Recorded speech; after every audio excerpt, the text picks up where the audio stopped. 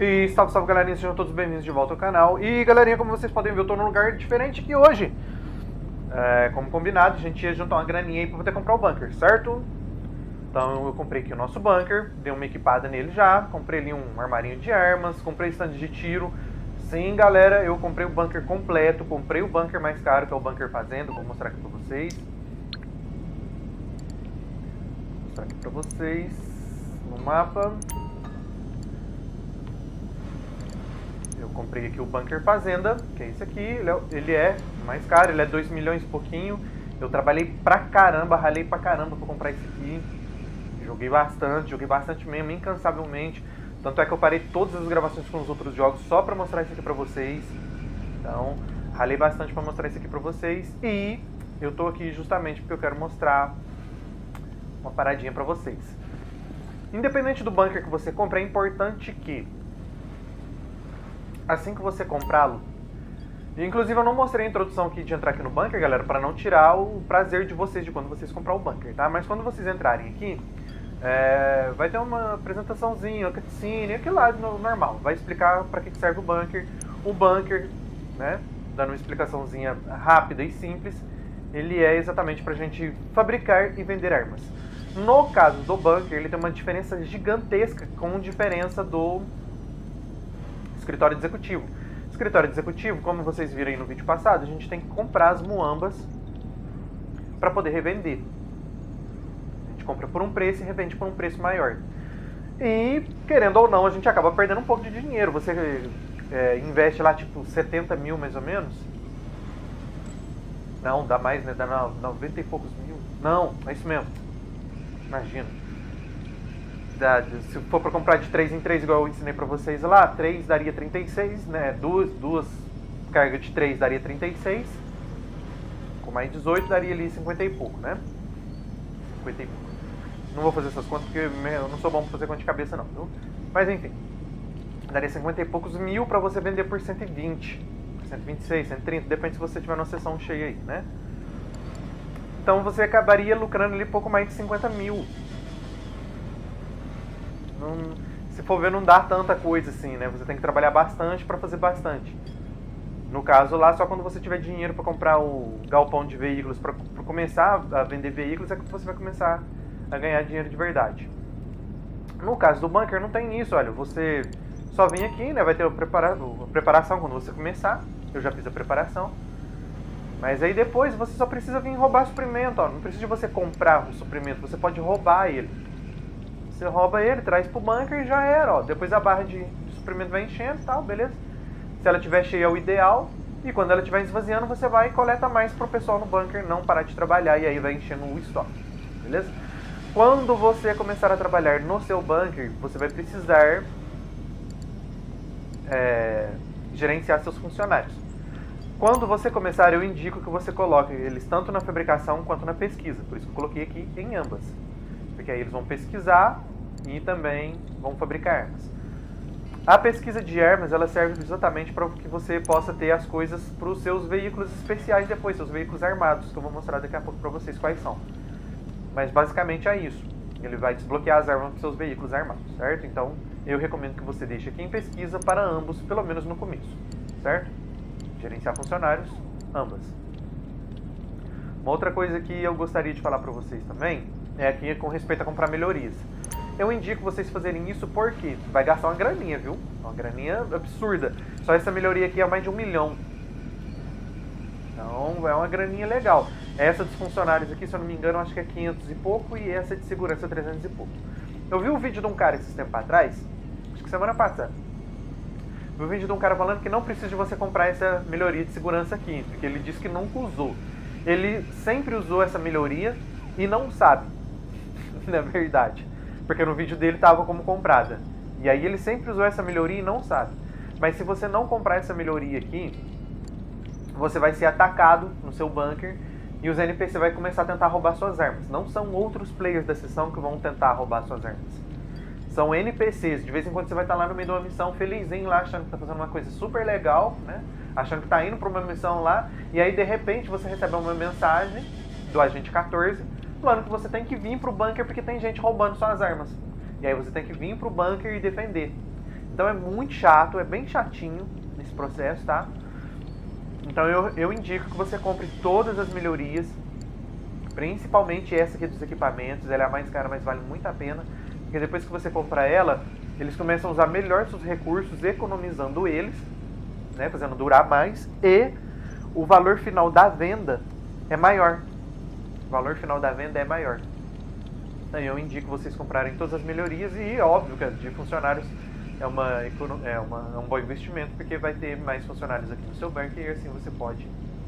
Então fala aqui que também aumenta o valor da venda final também se você tiver mais funcionários. Então eu recomendo você fazer isso, certo? Muito bem. As pesquisas, eu vou só dar mais uma outra dica aqui. As pesquisas é o seguinte, olha, tá vendo que aqui quando a barra tiver começar a encher aqui, olha, você pode pagar para acelerar a pesquisa. Você pode pagar se você quiser.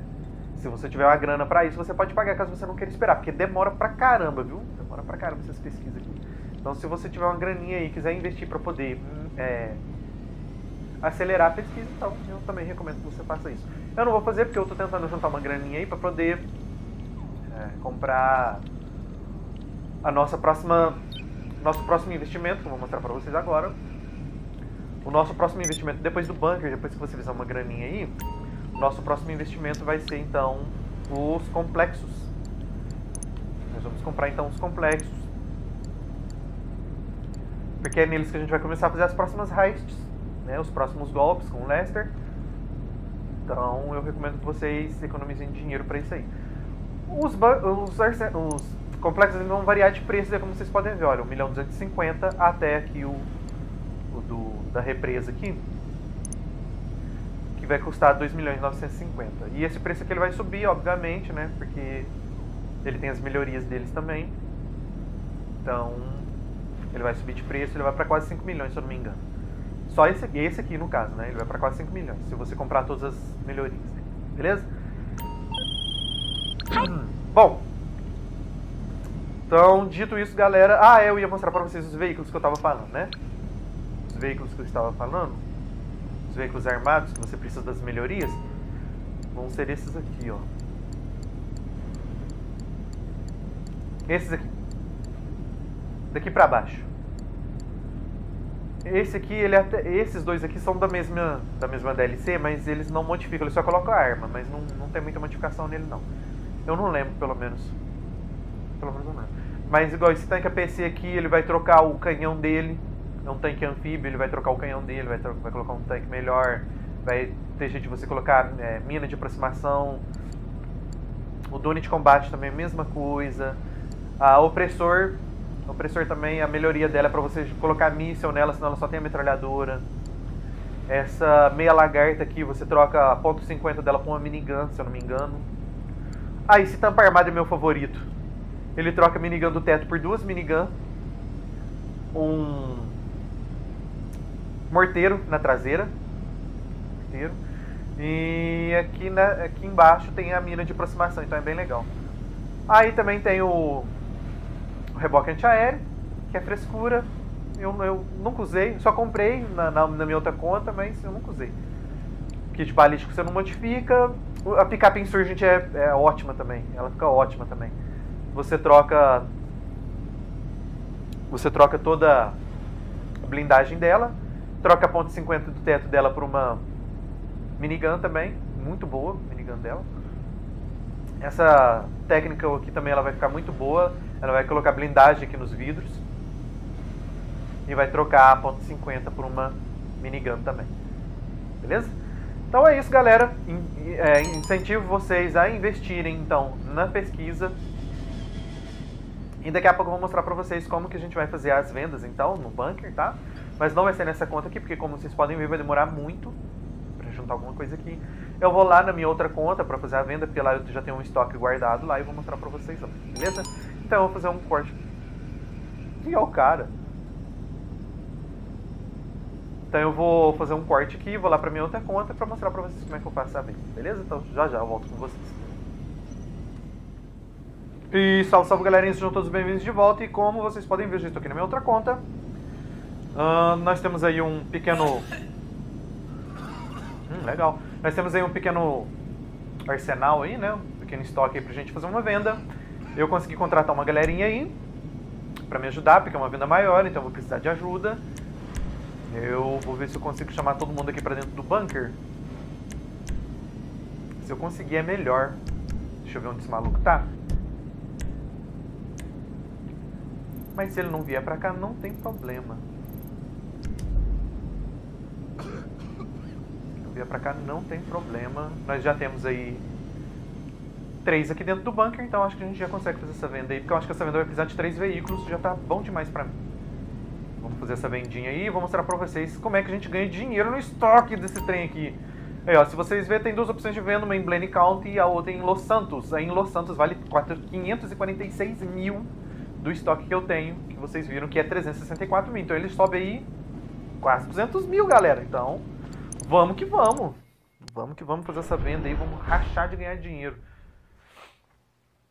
Então, eu tô fazendo aqui nessa conta aqui só para mostrar para vocês como é que é que funciona as vendas. É um negocinho bem complicado. Geralmente é só com 15 minutos que você tem para fazer a venda. É um trenzinho bem chatinho, viu, galera? E é quatro veículos. Ah, que bom.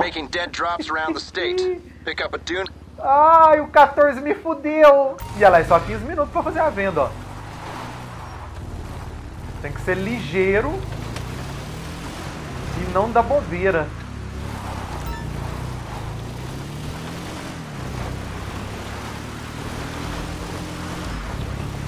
Possivelmente eu não vou conseguir fazer todas as vendas, mas paciência. Paciência, não tem o que fazer. E eu vou ter que abrir um mapa para marcar onde é que eu tenho que ir. Excelente. Vixe, eu vou lá primeiro na cidade lá, ó. Vou nessa primeira aqui.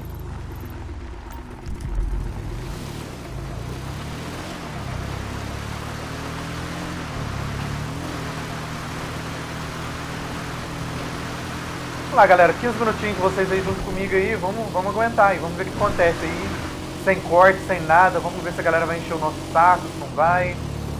Tomara que não. Eu tô numa sessão grande. Eu já dei dica pra vocês pra não fazer essas coisas em sessão grande, mas nesse caso aqui não teve jeito. Eu vou ter que me arriscar. Se der merda, deu. Já era. É só pra mostrar pra vocês realmente como é que as vendas funcionam, beleza? Vou tentar fazer esse Dune de combate aqui, como eu disse pra vocês aí na introdução do vídeo, ele tem armas, então qualquer coisa a gente vai tentar se defender, mas provavelmente não vai rolar.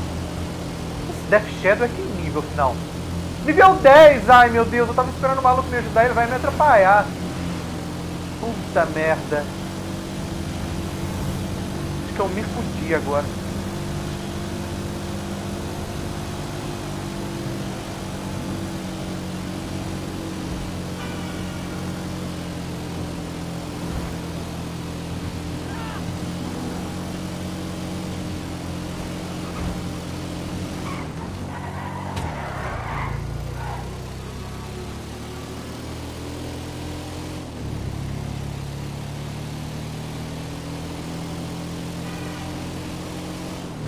Já deixei uma mina pra trás, ó, porque eu, já tô vendo que os malucos estão vindo atrás de mim. Então quem vier vai se fuder.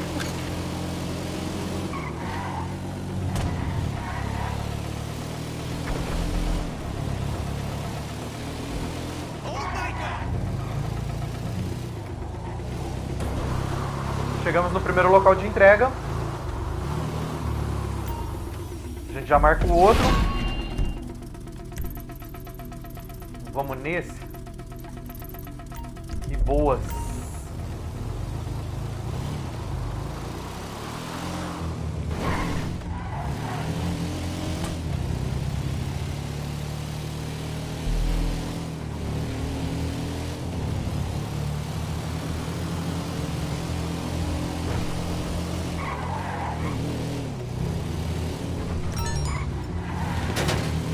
E é óbvio que ia vir NPC atrás da gente também. Então tem mais essa ainda pra gente lidar. Além dos players da sessão, ainda tem mais essa.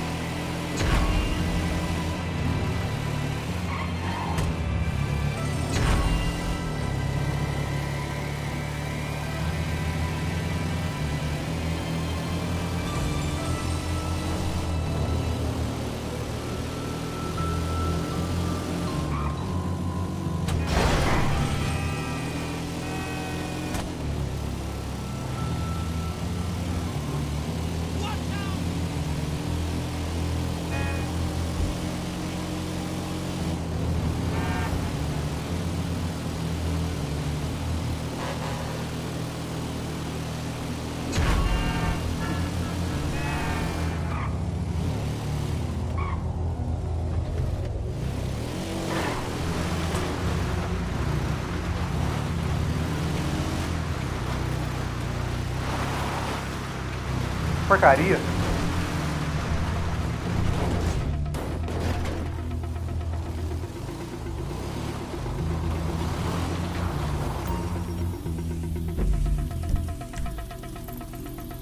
Rapaz, aqui vai ser ruim de entregar, viu? Já tô até vendo que aqui vai ser ruim de entregar.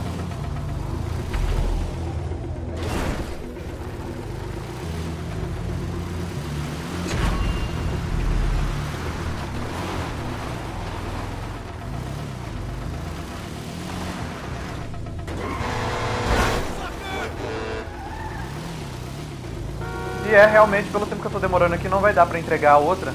Por exemplo, não vai dar pra eu acabar de entregar as minhas aqui. E... Ir lá buscar o outro veículo, não vai dar tempo. Vou ficar na sola mesmo. Vamos ficar uma entreguinha sem fazer.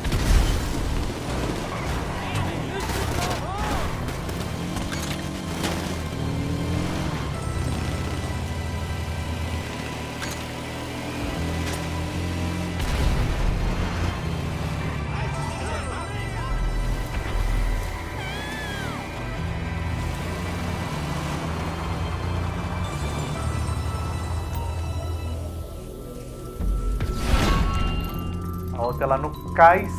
Vamos lá.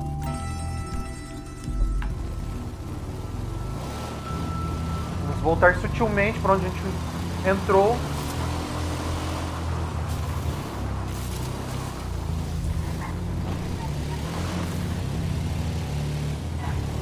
E tem um imbecil perseguindo a gente no MK2. Eu vou ter que esconder a gente antes que alguém estrague a nossa brincadeira. Torcer pra esses dois minutinhos ser o suficiente.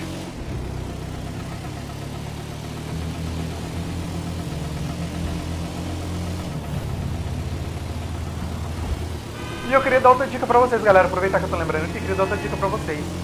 Caso vocês não queiram fazer vendas maiores assim, né? Igual lá no depósito de Moamba. Caso vocês não queiram fazer vendas maiores assim, se vocês quiserem fazer vendas sozinhos. Espero juntar aí cerca de 100 mil lá no estoque. A hora que der 100 mil, mais ou menos, eu acho que o dobro da venda em Los Santos vai dar mais ou menos aí uns 150, 160 mil.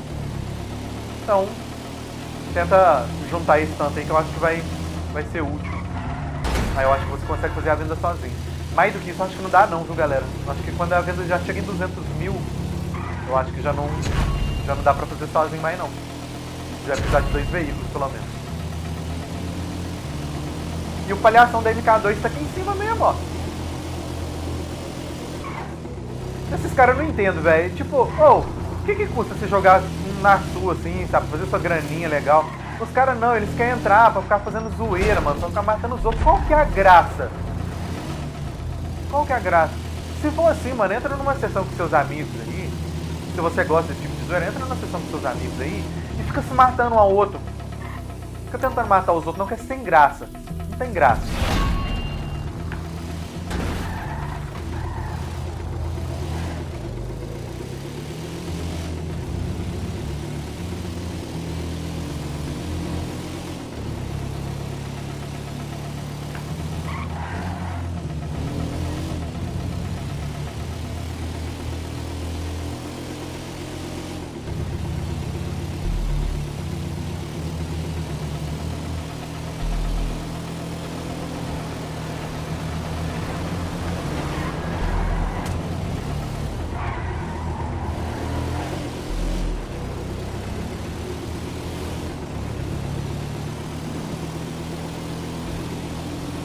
Porque eu não vejo o objetivo dos caras tentar atrapalhar o jogo de quem tá tentando fazer dinheiro, velho. Fazer dinheiro nisso aqui no zero é muito complicado.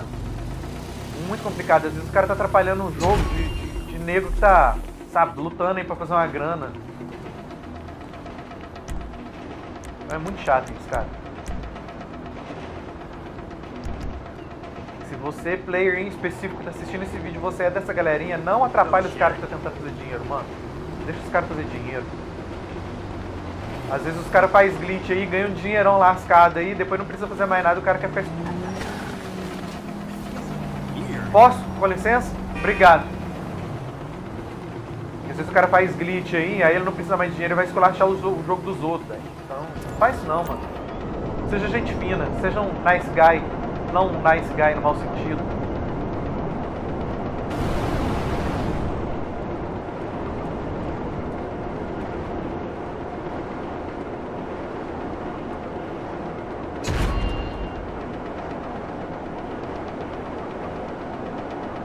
Vamos ver o que eu consigo fazer. Ver se eu consigo entregar pelo menos um pedaço.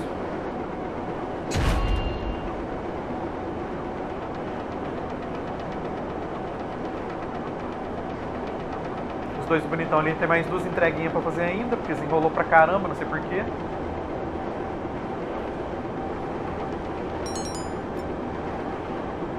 Tô ligado, 14, tô ligado. Mas não tenho o que fazer, infelizmente.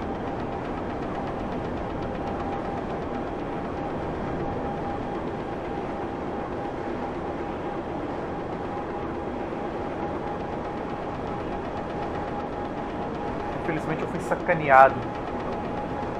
E o Death Shadow, ó, ele não fez nem o- a questão de sair de lá do meio da cidade vir aqui pegar um veículo, porque tá escrito na tela dele, entre em um veículo de entrega. Igual tá escrito aqui pra mim, tá escrito lá pra ele. Não sei o que, que dá na cabeça do cara que ele não vem fazer isso.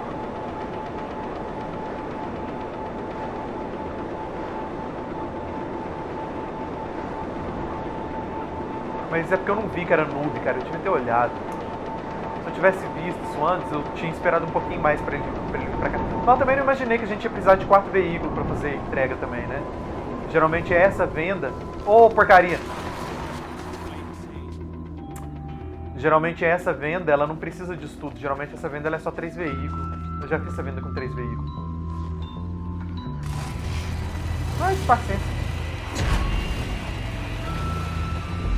Agora já era.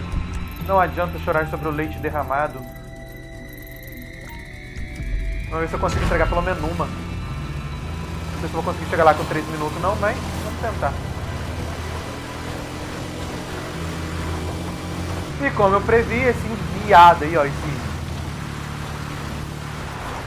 Edinaldo GBA é um, um filho de uma égua. Mano, você é o cara mais arrombado do mundo, tá? Saiba que tem pessoas no YouTube vendo isso agora nesse instante. Você é o cara mais arrombado do mundo. Você é o player mais esculachado no mundo. Não tem uma pessoa mais desprezível do que você no GTA. A como... Mas eu tenho um presentinho pra esse maluco aí, pode deixar. Eu não costumo fazer isso não, mas eu vou mostrar pra vocês o que eu vou fazer com esse viado aí. Pode deixar.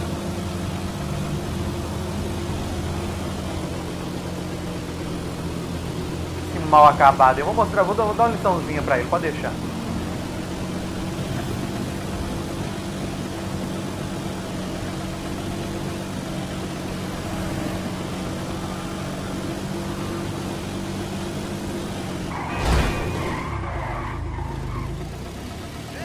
É, o drone de combate ele é bom por causa disso, ele dá essas pancadas e não sai voando.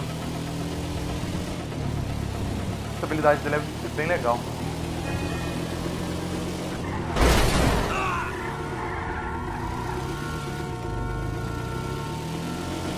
Vamos porcaria, pelo menos uma caixinha, vamos lá.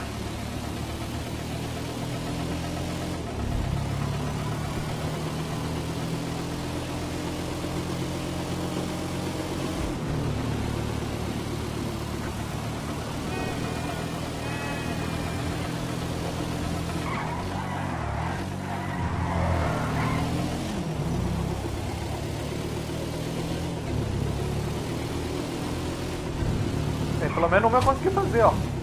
Se tivesse mais tempo, ó, se fosse meia hora eu conseguia. 14 quebra as pernas da gente, cara.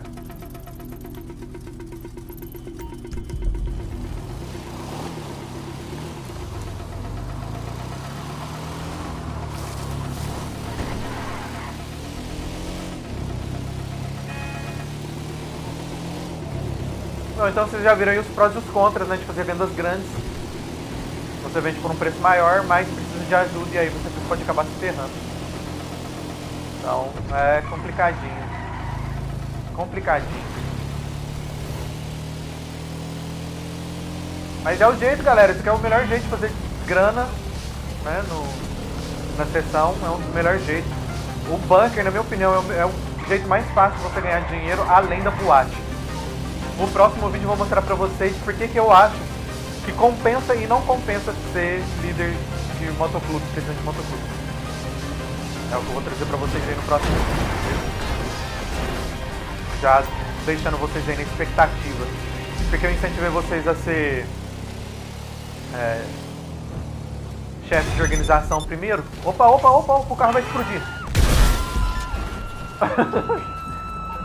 Doideira. Deixa eu mostrar pra vocês o que é que eu vou fazer com esse maluco pra ensinar uma lição pra ele.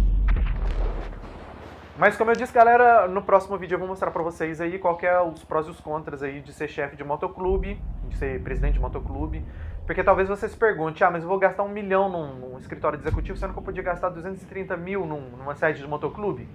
Faz muito sentido o raciocínio, mas eu vou mostrar pra vocês que é um negócio muito arriscado. É um negócio assim, bem, bem chatinho, viu? Mas eu, eu vou Well, mostrar at pra least vocês. some of the shipment got to the buyers. If they lose their war, you're to blame. a culpa é minha. Tem nada com isso não, 14. A culpa é sua, você que me ferrou. Muito bem. Vamos obliterar esse palhaço. É pra isso que serve o canhão espacial. É pra isso que a gente comprou essa bosta aqui. Vamos usar isso aqui então. Vamos lá. Vamos lá. Cadê ele? Cadê ele? Aqui, ó. Você vai aprender, palhação.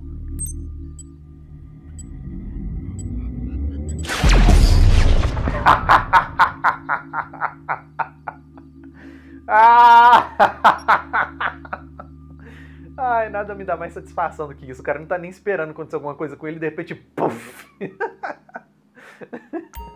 Muito bom. Bom, galera, é isso. Esse foi o vídeo de hoje. Espero que vocês tenham curtido aí as dicas, as dicas que eu passei, tá certo? Conto com seu like desde já, certo? Se você chegou aqui, se você chegou até aqui e não deixou seu like ainda, por favor, deixa seu like. Não sai do vídeo sem deixar seu like. Conto com seu like, beleza? E se você não é inscrito do canal e gostou das dicas aí, tá achando interessante, por favor, eu peço que você se inscreva e assine o sino das notificações para ficar por dentro dos próximos conteúdos. E compartilhe esse vídeo aí com seus amigos aí, para que eles também possam desfrutar aí das dicas para poder ganhar dinheirinho aí. Se você não gosta de fazer glitch, não quer fazer glitch, né? é, eu acho que o melhor jeito de fazer dinheiro aqui no GTA é esse, tá certo? Então agradeço mais uma vez todo mundo que me acompanhou até aqui. Fiquem todos muito bem, galerinha, e até o próximo vídeo.